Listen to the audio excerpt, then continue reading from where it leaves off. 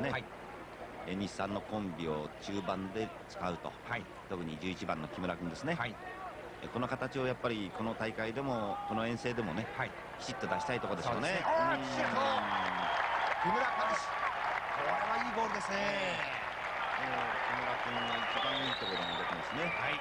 思い切りの良さ。はい。それからこの体の柔らかい強いシュートですね。はいあれだけ振り向いてのシュートっていうのはなかなかできるもんじゃない。中で発揮されることを期待しましょう。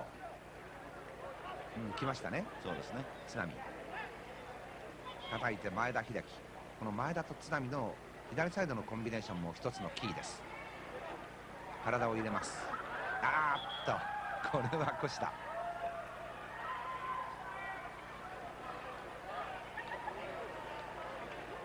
この位置でファウルになりました。あースロービデオで見るとよくわかりますそうね、ですね、はい。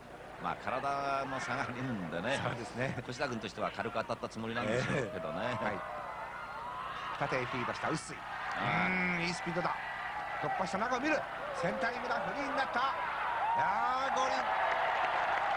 ナイスゴー。ルまあこれはもう速攻の典型ですね、木村です。さっきも申し上げましたけどね。これだけ臼井君が速攻してちらっと中見ますね。今はい。ここで見てますね、はいその時にやっぱり右サイドからのフォローアップがこれだけきちっとあればね、はい。い、い点になりますね。すね。しかもあそこはキーパーも出ざるを得ませんしね。そうです。出ました。果たして走り勝つか。えーっとちょっと津波君ですか？だと思いますそうですね。はい。ちょっと後ろから入られました。ベテランの臼井。しかしこの日本代表チームも斉藤和夫臼井宏之この2人が入って何か随分活性化したと言いましょうかね。そうですね。やっぱりベテランの落ち着きっていうのが逆にチームの中に安定感をもたらしたですね。あーだからヘディングシュート。両サイドへのヘディングシュート。キーパーのニュース取れません。もう一度見てくださいジャンプが高いですね。高いですね、まあキーパーも木村赤いユニフォーム結構戻ってますね。えー、引いてますね。はい。クロスのセンタリングクリア。ちょっと小さいか。あチャンスがある。日本代表。ワントラップしてシュート。ああいい押し上げです。もう一回木村。いやー狭い地域だ。薄い。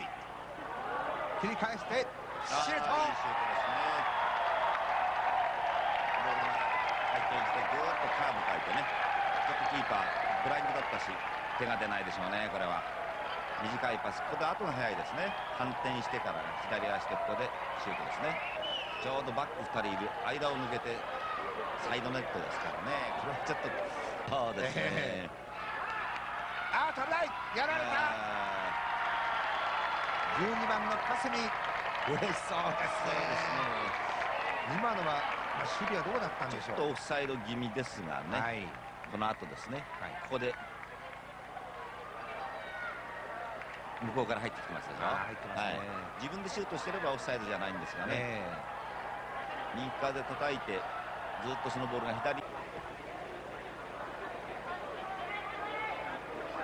今週は国際親善試合。日本代表の強化試合です。ブルネ。あーナイスシュートナイスヘッドこれはす。ごい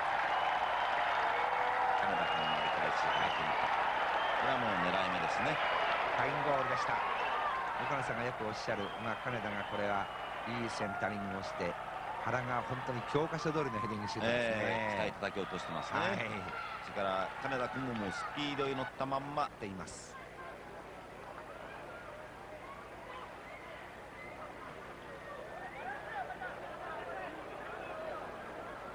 あんまりこの辺岡野さんガチがつきませんね。えあのマレーシアやシンガポールの選手っていうのはこういうタイプが多いんですね。ああそうですか、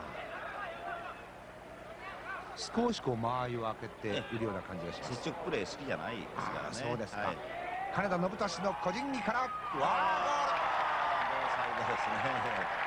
素晴らしいゴールでした。6点目やっぱりこの時間で岡野さんこういうゴールを取っていくということは非常にいいですよね、ええそうですね。しかしスピードに乗ってね、はい。際どいコーナー狙いましたね、えー難しいとこでしょうね、えはい。ああいいですね。素晴らしいボールだ。から中を見る。